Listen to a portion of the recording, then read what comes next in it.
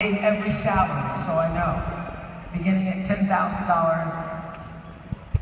I, I, I made every salary. I made 10, I made 12, I made 15, I made 22, I made, I know. So I know what it takes to take money out of your pocket and give it to something you're not even sure what it was at Right. first. You're just like, well, I heard it was coming, and I don't know. Coming is here. I hope that you will have the blessings multiplied a hundredfold by whatever you paid.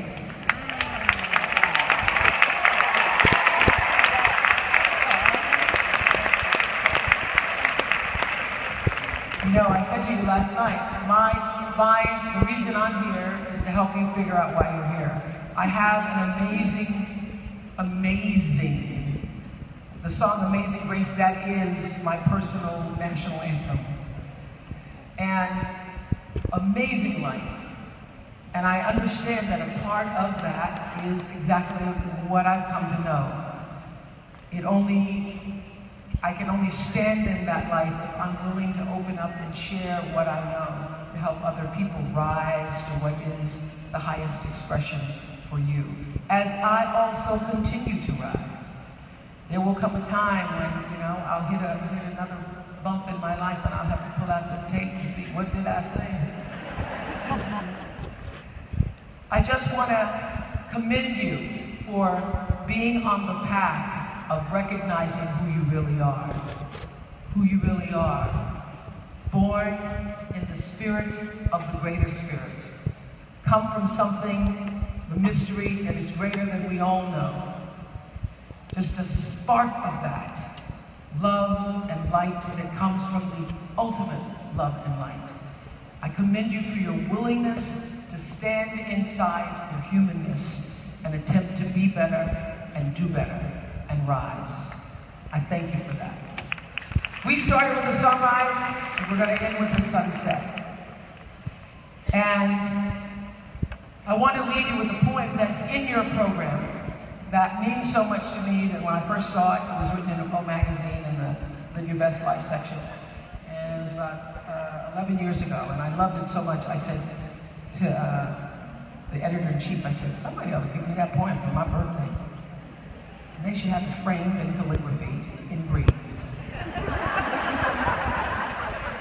and they did. And it's the poem that I want I want to share with you. It's there. I have it. I love it so much that it is. Uh, I have it on my bathroom wall, so I have to see it no matter what, every day, first thing. And the poem is called "Love After Love." This is my wish for you. By Derek Walcott. It says, "The time will come when, with elation." you will greet yourself arriving at your own door. In your own mirror, and each will smile at the other's welcome and say, sit, sit here, eat. You will love again the stranger was yourself.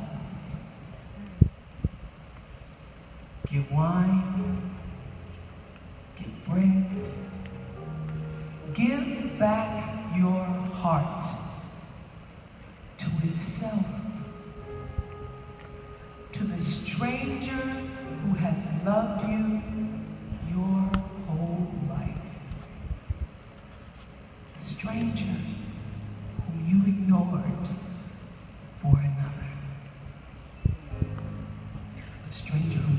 by heart. Take down all those love letters from the bookshelf, holding on to the past, all the photographs, and all the desperate notes. Peel your own image from the mirror. Sit. Peace.